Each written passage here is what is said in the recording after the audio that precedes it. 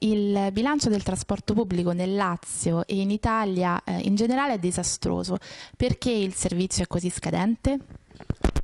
Ecco, potrebbe mm, verificarsi questo per mancanza di una meglio organizzazione nell'azienda pubblica che la parte dirigente gestisce male per come deve funzionare e quindi ci vorrebbe un maggiore coordinamento affinché il servizio possa essere eh, migliore e, e, in modo che i cittadini possano diciamo, eh, avvalersi di, de, del servizio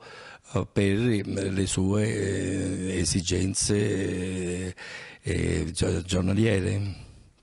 Lo scandalo dell'ATAC e di altre partecipate costantemente in rosso non ci fa pensare che bisogna avere un modello di gestione di queste società differente?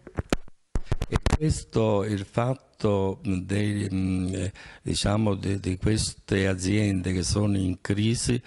ne viene anche dal, dal fatto che secondo il nostro modo di vedere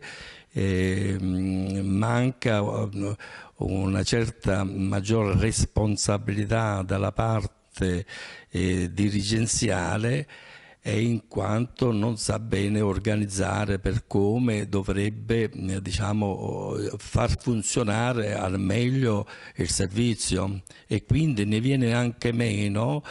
eh, per questo mh, fattore che spesso eh, nei mezzi pubblici che sono affollati e quindi eh, eh, i cittadini si avvalgono di questo mezzo, però all'interno eh, ci sono molte che non corrispondono al pagamento del biglietto e quindi sono meno in cassa che va dentro l'azienda, ci vuole un maggior controllo. Sarebbe anche utile magari ecco, fare un investimento sull'occupazione affinché all'interno del mezzo pubblico ci siano anche altre persone che controllano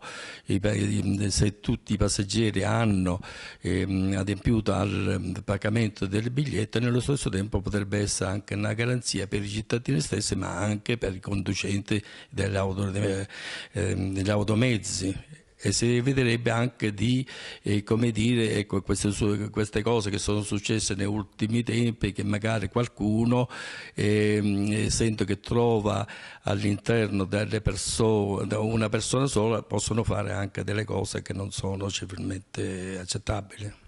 È statisticamente provato che il trasporto pubblico non è solo un servizio per il cittadino, ma è altrettanto importante per le imprese. Nei paesi europei dove c'è un servizio di trasporto efficiente ne beneficiano anche le aziende. Perché invece in Italia non si investe abbastanza sul trasporto pubblico?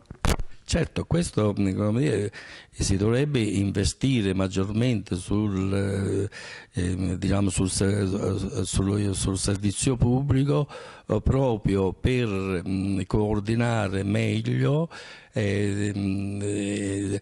far che siano più puntuali ecco, nel, diciamo, nei tempi in modo che il cittadino è più incentivato ad avvalersi del mezzo pubblico e non quello privato e di conseguenza non solo che ne beneficia il cittadino perché trova un mezzo efficace ma ne beneficia anche le aziende che possono diciamo, um, contare sulla puntualità anche eh, diciamo, de, delle, um, eh, delle, persone che si, de, che si regolano al lavoro, che spesso invece si vengono a verificare ritardi, eh, ritardi non indifferenti.